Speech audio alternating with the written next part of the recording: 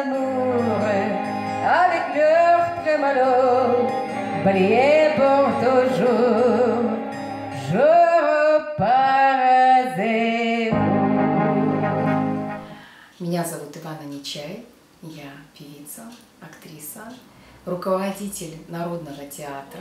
Эх, плеточка шелкова, Плеточка шелкова, бай, говори, моя головка, плеточка шелкова. Мои лекции будут посвящены всем людям, которые эксплуатируют свой голос профессионально, либо э, ежедневно сталкиваются с трудностью такой, как меня не слышат, меня не замечают, я не могу выразить себя, я стесняюсь, мне не отвечают на мои вопросы, я человек-невидимка, я не могу пройти собеседование и получить работу.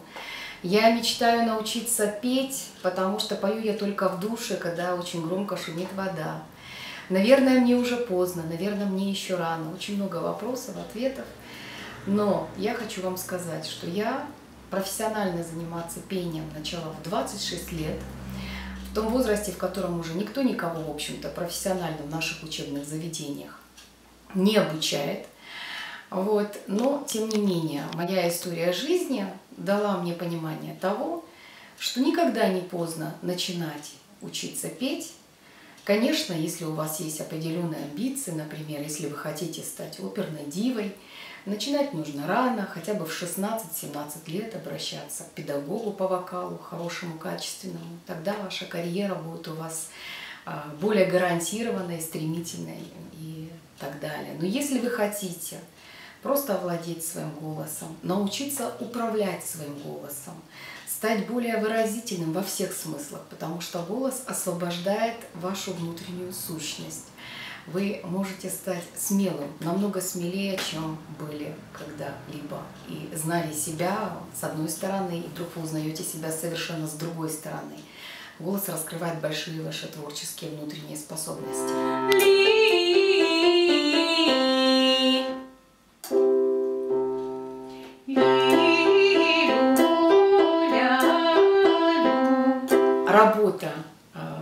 Артикуляционным аппаратом требует сокращения квадратных мышц лица.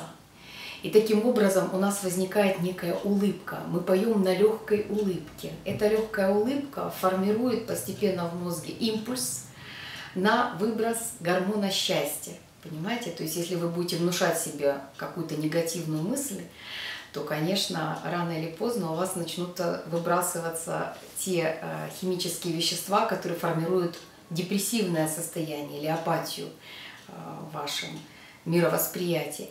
А если вы даже заставляете при плохом настроении себя улыбаться, то через какой-то момент у вас мозг начинает давать импульс, и организм начинает получать гормон счастья. Так вот, во время работы э, с голосом вы вынужденно сокращаете квадратные мышцы лица, вы поете постоянно на легкой улыбке, и у вас возникает э, вот это ощущение счастья. Ну, все абсолютно люди, которые поют или занимаются ораторским искусством, а особенно когда поют, испытывают постоянное чувство полета.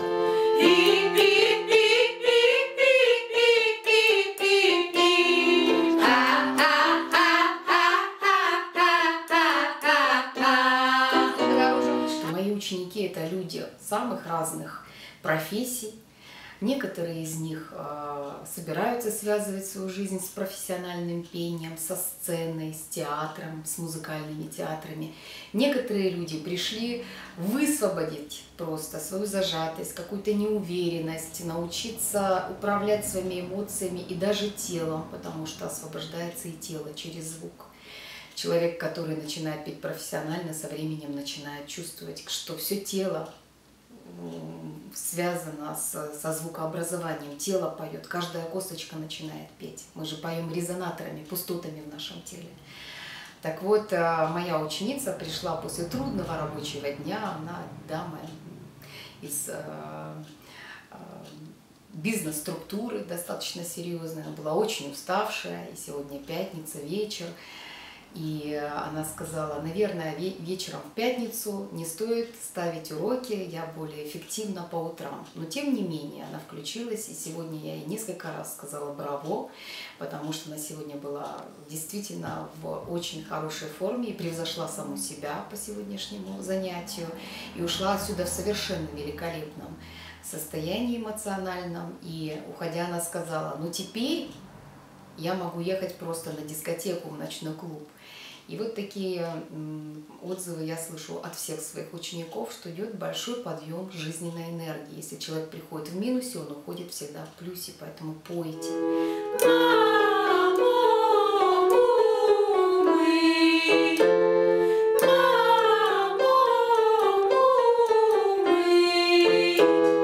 Пойте на здоровье. Конечно, хочется петь чисто. Не у всех есть хорошие уши, хороший музыкальный слух. Но поверьте мне, что если вы различаете хотя бы базово, вы слышите, что вы фальшивите, значит вам поможет сольфеджирование. Есть метод вычищения плохого слуха. Когда люди мне звонят и говорят, вы знаете, я хочу научиться петь, но у меня нет ни слуха, ни голоса.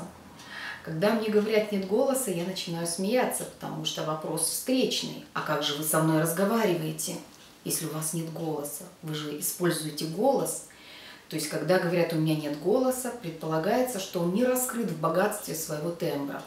Тембр определяется количеством обертонов. Обертоны рождаются в пустотах человека, в резонаторах. Поэтому я занимаюсь развитием резонаторов базовые три позиции, которыми, с которыми мы работаем на любом уровне, неважно какого уровня подготовки пришел человек ко мне и какие у него планы, это, конечно, включение, резонирование всех трех резонаторов, грудного резонатора, головного резонатора и, конечно же, микста, это кости лица, это наши зубы. Они единовременно должны быть включены в работу для того, чтобы ваш тембр был красивый, яркий, запоминающийся, потому что у вас у всех свой индивидуальный тембр. Это обусловлено природой ваших связок, вашими зубками, какие они есть, вашими носовыми перегородками, вашими надбровными дугами. Если у вас, допустим, вялые мышцы лица, к примеру, звук будет седаться, потому что у нас отражает звук только твердая поверхность. Очень простой вопрос ко всем. Где лучше всего поется? Конечно, в ванной комнате. Почему? Там ведь кафель. Так вот, наши зубки – это тоже резонатор, что-то вроде кафеля. Если мы научимся во время пения держать открытыми верхние зубки и проводить свой звук вперед на верхние зубки, это уже большая будет, э, большое будет продвижение в своем звучании. Человек не будет использовать э, громкость, насилуя свои связки. Громкость возникнет естественным путем, подзвучится нашим микстовым резонатором, зубками нашими.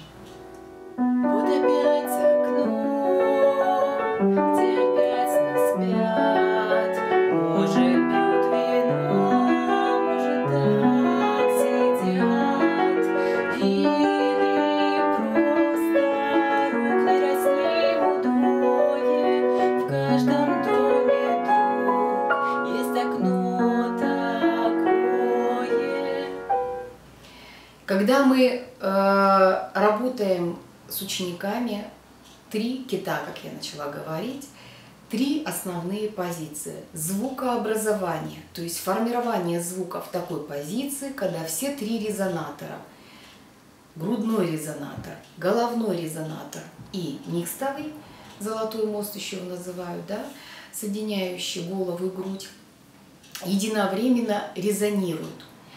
Второй момент. На всем диапазоне нужно сохранить это резонирование. Конечно же, если это высокая тесситура, то будет преобладать головное резонирование. Но чем больше будет отзвука в груди, тем больше у вас будет открыто нот вверху. И наоборот, когда мы э, работаем над грудным резонированием, спускаемся, допустим, вниз, у нас в нижней тесситуре какое-то произведение вокальное, чем больше мы будем свой звук устремлять в голову, тем у нас будут красивее нижние ноты, раскрывается больше диапазон внизу, он яркий, он э, не теряет свой блеск. Почему большинство распевок мы с тобой делаем через э, какую-то согласную, через L или через Z, А, через понятно. M, чтобы сомкнуть связки, а потом уже мы раздуваем фонем. Окей. Я буду давать упражнения, которые можно научиться делать самостоятельно дома, выполнять их ежедневно по 10-15 минут в день, и это вернет эластичность вашим связкам, это включит в работу ваши резонаторы, у вас увеличится диапазон, и самое главное, ваши связки окрепнут и будут всегда здоровыми. Комплекс этот, этих упражнений называется фониатрические упражнения, и он рекомендован абсолютно для всех людей, для кого эксплуатация голоса является профессиональной необходимостью.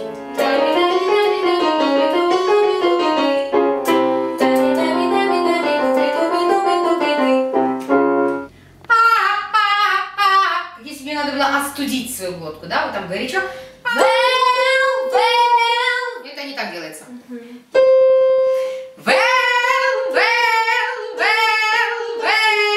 Да? Организованный крик. Давай.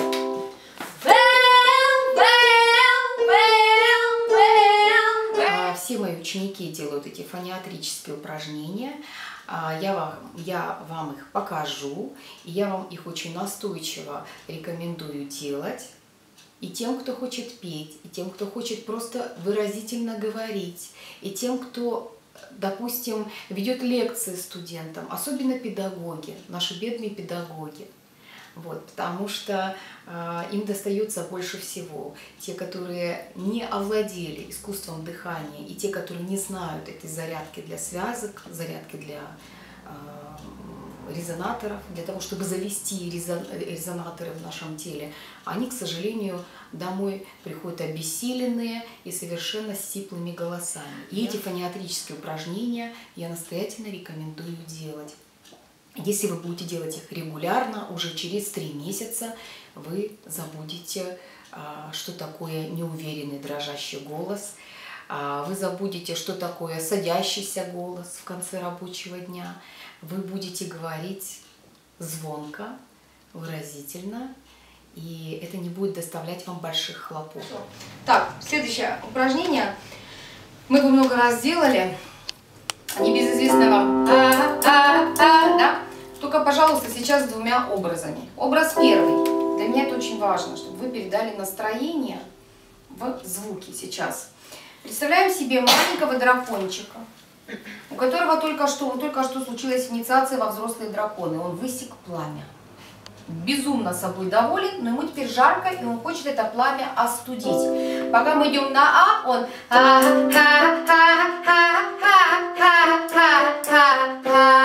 он остужает свое горячее горло. Как только мы идем на И, он высекает новое пламя. Да?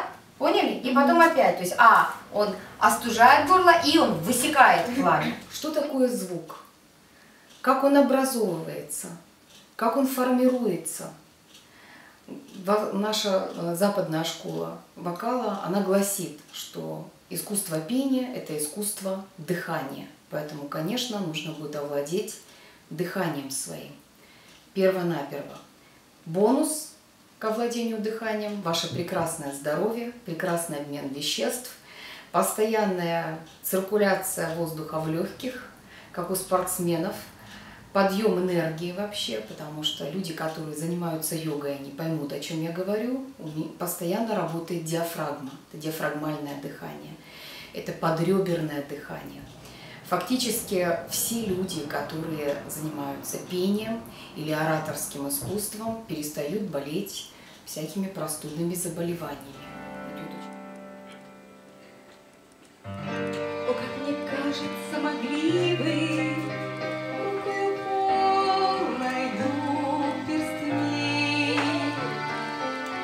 И кудри дев ласкать и гривы своих коней, своих коней в одной невероятной скачке.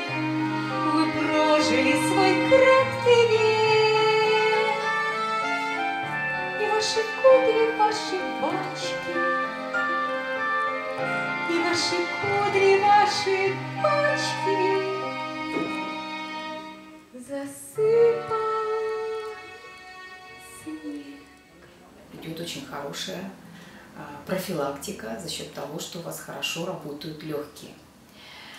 Следующий момент. Это, конечно, будет немножечко из области метафизики, но опять же на сегодняшний день мы живем в 21 веке, и понятие энергии уже стало естественным для нас понятием. Что происходит на уровне энергии? Мы преобразовываем низкочастотные энергии, потому что дышим мы фактически от копчика, от низа живота. И мы проводим эту нашу дыхательную струю мы не дышим, конечно, копчиком. Я хочу сделать сразу эту маркировку. Я имею в виду, что энергия, которую мы начинаем поднимать, мы же берем воздух и под ребра, и в живот. Так вот, энергия эта начинает двигаться, вот если говорить о йоговской системе, о системе чакр в организме человека, она начинает двигаться по всем чакрам, формируется на вишудхе, на творческом а, центре человека. Дальше мы ее подтягиваем в высокую позицию, максимально высокую. И а, фактически а, эта энергия поднимается до сахасрары во время пения. Уж во всяком случае, это классическая школа. Вот. И таким образом мы преобразовываем энергию Земли. Мы поем праны, как говорят еще индусы, певцы. Мы преобразовываем эту энергию в высокочастотную. С этим связан такой постоянный терапевтический эффект. Люди, которые приходят на занятия в любом настроении, уходят всегда в превосходном настроении.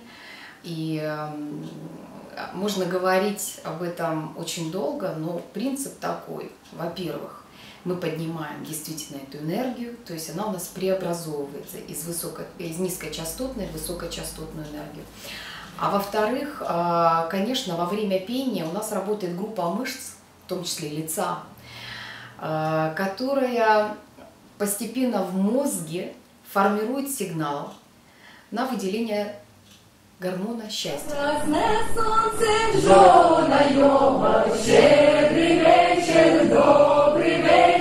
Добрым людям на здорово. Нет хороших певцов с плохой дикцией для того, чтобы человеку, который имеет маленький сценический опыт, выступить маломальски хорошо, прилично, первая рекомендация – хорошо артикулируйте. Вообще на самом деле дикция, дыхание, артикуляция – это все неотъемлемые части хорошего пения. И каждый человек, который хочет затрачивать меньше энергии на говорение, но при этом получать эффект, эффект, который мы производим своим голосом на слушателей, должен своему дыханию и дикции уделять в день хотя бы 10 минут. Добрых намерений полный взял слово и стал говорить он, «О, Ахиллес, объясни Стоп, мне о, величие». Ахиллес – это А, восклицательный да. знак, и значит мы останавливаемся. То есть мы выделяем больше интонационно, да, но не останавливаемся. Думаю, сильно придется разгневать мне мужа, который Аргосом правит, которому все здесь ахейцы послушны. Профессионалам я рекомендую больше времени, конечно. Ну, профессионалам это людям, которые либо уже имеют эту профессию, актерскую или певческую, а, либо а, только хотят связать свою жизнь со сценой. Профессионалам хотя бы 30 минут в день. Это может быть как чтение орфографических словарей, отрабатывание одной конкретно буквы. Как можно определить, где проблемы? Очень даже просто. Открывайте хорошую классику, хорошую книгу, например, Ивана Тургенева. Записки охотника. Очень рекомендую. Читайте какой-то рассказ, не спеша, с чувством, с толком, с расстановкой и записывайте себя на диктофон. После этого прослушивайте себя. И если какие-то буквы вам кажутся странными, если какие-то буквы звучат так, что э, это вас смущает, то это та буква, над которой нужно работать. Рмли, рмле, рмла, рмло, рмлу, рмлы, рмли. Рмли, рмле, рмра. Рмла. Рмлам, рмо, рмло. Нет, рылмо. Рылмо, рылмо. Вот нужно, надо дисциплинировать свой язык. То есть он должен идти в четкой последовательности. Рмли, рмле, рмла, рмло, рмлу. Конечно, есть скороговорки, которые нужно говорить не быстро, а четко.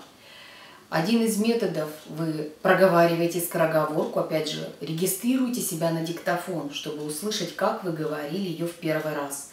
Затем вы берете карандаш, зажимаете его между зубов и включаете те мышцы, которые у вас не были задействованы, потому что автоматически у вас включаются в работу мышцы лица, которые не были задействованы перед этим. И вы проговариваете эту же скороговорку максимально качественно, стараясь не потерять качество того, что вы говорите. И потом вы вынимаете этот карандаш и еще раз регистрируете на своем диктофоне уже после карандаша проговаривание той же скороговорки. Вы будете удивлены приятно, насколько улучшилось произношение скороговорки у вас. Еще один метод – орфографические словари. Это может быть русско-французский словарь, русско-английский, русско-украинский, не имеет значения какой. Имеет значение только на каком языке вы планируете петь. Если, допустим, это русский язык, ваша задача найти страницы и подряд, если у вас проблемная «с», вы читаете с утрированием окончаний, то есть вы должны делать очень четкое окончание. А, И вы читаете страничку, вторую, третью. Постепенно буква, которая вам не давалась легко, начнет ваш язык принимать правильное положение, и букву можно исправить. То есть фактически как работа с логопедом. Если вы будете стараться, то уже через две странички вот такого, допустим, словаря по объему у вас будет тянуть корень языка, потому что очень многие э, мышцы у вас включатся, которые были просто в вялом состоянии. Ну, такой смешной может быть анекдот. Девочка ко мне приходит и говорит, у меня плохая дикция. И я ей говорю, а пробовала шевелить губами? И как только она зашевелила губами, то есть мы поработали с карандашом, оказалось, что нет никакой проблемы с дикцией. Но если вам нужно говорить внятно, вы вынуждены а, еще автоматически подключать ваше дыхание, подключать диафрагму, ее активность, понимаете? То есть это постоянно работа всего вашего тела.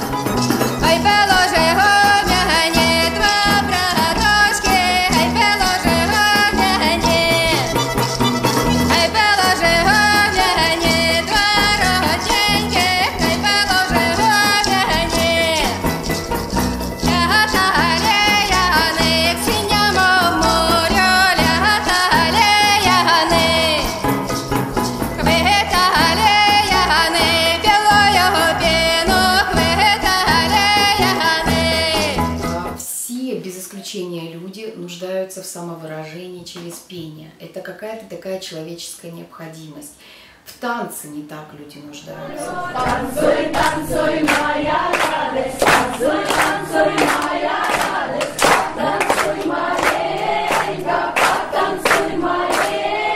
Пение – это что-то такое базовое, заложенное в человеке, как система а, наведения внутреннего порядка, как система а, даже какого-то эмоционального восполнения, восполнения. То есть у вас всегда есть пение как не то чтобы панацея всех бед, но я, наверное, скажу поговорками народными. Нам песня душу проветривает, а в Сибири говорят, кто не поет, того отпевают. Пошли девки в лес поя, да ты да пошли девки в лес поя.